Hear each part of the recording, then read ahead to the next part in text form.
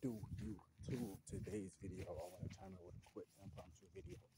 In today's video, I want to talk about this migrant shit, right?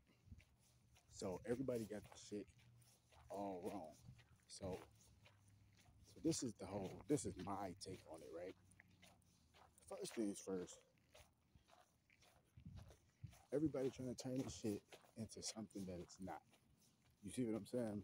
That's that's always gonna be some type of propaganda or some shit like that. You know what I'm saying? Like, well, motherfuckers try to turn this shit into something that it's not.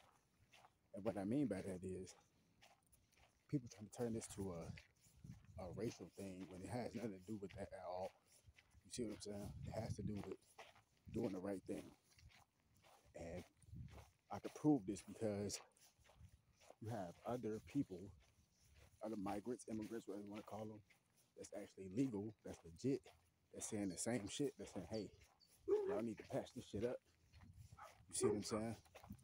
So if your own people saying that shit, how can it be a racial thing? You see what I'm saying? It has nothing about, it has nothing to do with that. It has to do with doing the right thing. You see what I'm saying? Doing shit the right way. That's all it comes down to. It's going about the process of coming to America the right way. That's it. You see what I'm saying? But people's gonna take that and blow it out of proportion on some, you know, propaganda shit. But that's nothing new. You see what I'm saying? Like, come on, man, that's nothing new, bro.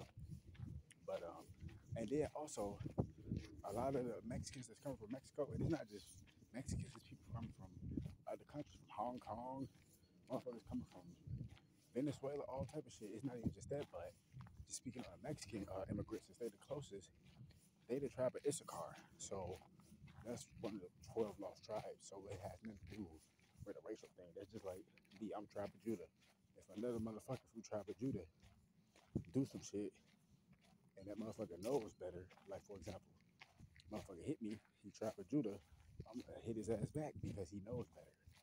You see what I'm saying? So that's all it is. It's just people holding people accountable and shit. That's it.